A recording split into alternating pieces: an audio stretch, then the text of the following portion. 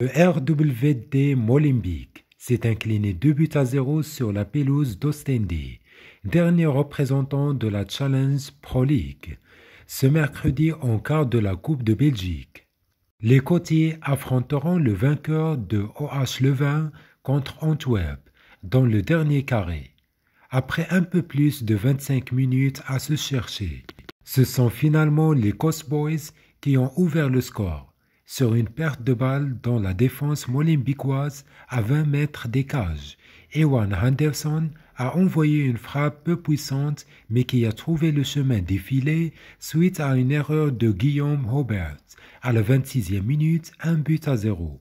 Ostend a pu doubler le score à la 59e minute grâce au but de Laïs. Et le match donc s'est soldé par un score de 2 buts pour Ostende contre 0 pour RWD Molenbeek.